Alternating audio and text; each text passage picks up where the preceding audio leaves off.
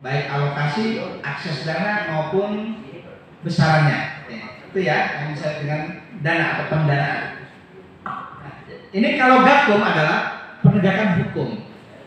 Nah sekarang kalau aspek di pendanaan ini berubah, kira-kira gakum langsung berubah tidak? Boleh ya, bisa positif, bisa negatif, nggak masalah. Yang penting berubah. Satu atau nol. Satu atau kosong. Satu sama Satu. Oh. Kan tetap harus ada anu ya, analisisnya. Gakum ini kan sebenarnya penegakan hukum ya.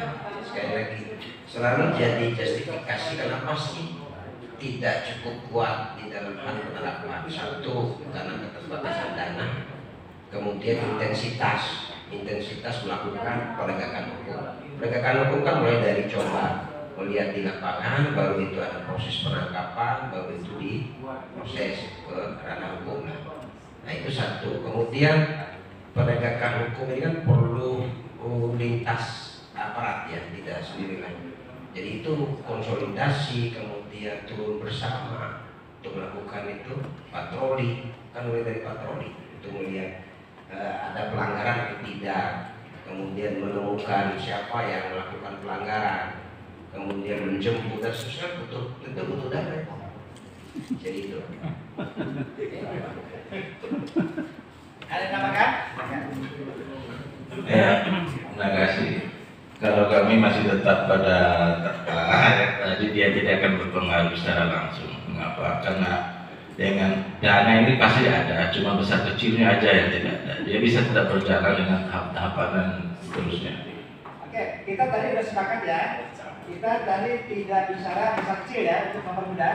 Iya. Tapi kita berpengaruh dulu ya. Iya. Apakah nanti perubahannya itu negatif atau positif itu nah, Benar. step berikutnya Sekarang ini aja dulu. Iya. Eh, makanya kami ber, eh, mending, eh, tidak berpengaruh secara langsung karena dana ini bukannya tidak ada, ada dia, cuman besar kecilnya aja dananya itu masuk kami. Pilihannya. Ah, menurut kami begitu. Nol. Karena dia bisa tetap berjalan walaupun dengan angka kecil secara step by step. Gitu. Kalau bapak tadi satu. Ya, artinya saya coba maksudnya biar memperjelas Bentar, saya tegaskan dulu Pak ya. Artinya dana berubah, tetap gakum tidak berubah. Dapat berjalan gitu ya. Jadi tidak langsung ya. ya, itu lagi sebenarnya kan kita belum bicara besar kecil bicara pengaruh dulu nanti itu Dananya yang satu juga pengaruhnya. ya logikanya gini. Eh, kalau nggak ada dana sama sekali nih ya kok jalan nggak? Soalnya dana itu tidak tidak kita bicarakan saat tidak ada ada ya, tapi besar kecilnya. nah berpengaruh pasti berpengaruh. Ah logikanya gini kita copot dulu nih katakan tidak ada dana gakum jalan nggak? Kalau tidak ada dana, gakum jalan nggak? ya kan kita belum bicara besar kecil ini. Iya, iya. kita anggap nol arti kita taruh nol. Pilihannya kan nol dan satu nih. Iya. nol itu aslinya tidak ada kan? Nah kalau tidak ada ber, gakum jalan nggak? Enggak berarti dana berpengaruh dong itu dulu nih. Persoalan intensitas itu bicara kecil Iya. dan besar. Bukan- kita belum bicara intensitas ini. Itu maksudnya Kalau Pak kami sedikit eh, tidak perlu di terima kasih Pak. Saya pengaruh. Pengaruh. Berarti satu. Pak Camat satu. Pak siapa tadi Mbak dari Pak Medan? Eh, Tidak pengaruh. tidak pengaruh. Oke nol. Yang lain ada yang berpendapat?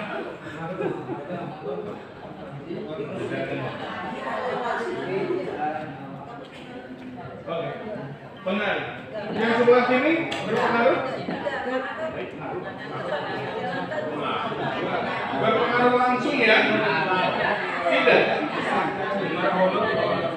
Lagi ya, tidak berpengaruh. Alasannya ya, yang penting alasannya ya.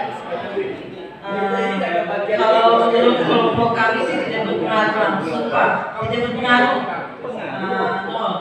karena langsung kita tidak baik ada tidak ada, dana itu Itu Pak, terima kasih. Baik, saya sebelum ke situ kita lihat lagi definisi. Definisi dana. Definisi dana ini. Jadi maksudnya dana adalah perencanaan pendanaan yang tepat dan dapat diakses untuk pelaksanaan kegiatan. Bukan masalah dana juga sebetulnya, tetapi perencanaan pendanaan yang tepat dan dapat diakses untuk pelaksanaan kegiatan dalam rangka sinergi antar sektor. Kita singkat dengan dana atau pendanaan. Saya saya saya dulu. Hukum itu adalah Saya dulu. hukum. Berarti yang dimaksud dana dalam definisi dana yang dimaksud ini adalah dana yang merencanakan, menganggarkan untuk kegiatan penegakan hukum. Gitu ya, toleransinya. Karena di situ dana itu adalah perencanaan pendanaan. Jadi sudah ada perencanaan termasuk adalah untuk penegakan hukum. Jika dananya itu tidak Tidak ada. ada, tidak direncanakan, Jalan nggak? jalan nggak gabungnya. Ini soal perencanaan pendanaan jadi. Kalau alasan Sebenarnya tadi Izin izin terus saya mau. ini eh, Pak, ini kan kita pendanaan ini kan lebih ke dalam rangka kita menyusun master plan sebenarnya.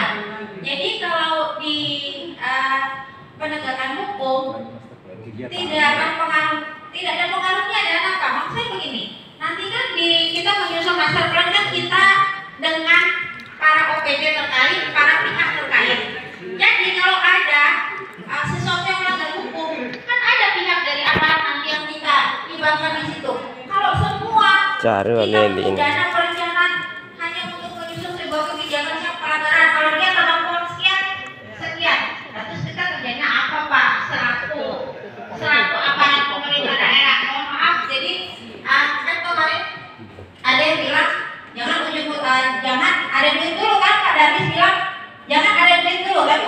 duit nah jadi sekarang kita jangan meng- meng- menganggap dulu bahwa kita butuh sebuah kebijakan untuk penegakan hukum itu harus ada dana tapi ada pihak-pihak tertentu yang bisa kita libatkan untuk hal itu Pak jadi itu baru bisa terbangun yang kita hajatkan Nol. Nol. Tidak nol tidak ada Pak Oke, saya tidak langsung. Sekarang yang langsung. Tadi kita pajak. Ya asing nih. Jadi gini sebenarnya nih. Eh, dana terhadap vakum. Kita lihat di tahapan apa kan. Kita perencanaan jelas nggak butuh dana. Ya kan? Kita hanya merumuskan saja. Tapi di pelaksanaan, di implementasi, di pengendalian. Kalau ada operasi, butuh dana dong. Ya kan? Ada operasi, ada pelanggaran, kita turun. Nah itu tergantung tahapannya sebenarnya. Makanya saya pikir gini, Pak. Didefinisikan dulu secara jelas. Baru kita bisa tahu. Makanya adalah produk gitu. Sekarang gakum itu dalam bentuk apa? Dalam bentuk buku, dalam bentuk perda, dalam bentuk pedoman SOP. Ya nggak butuh dana dong. Tapi kalau dia di tahap implementasi, ada operasi gitu, ada pelanggaran, ada operasi, tindakan ya jelas butuh dana dan operasional namanya. Makanya saya pikir ini pak didefinisikan dulu secara jelas. Gakum itu apa sih? Gitu. Penegakannya dalam bentuk apa? Bentuknya dulu. Ya kalau dia di tahap perencanaan ya tidak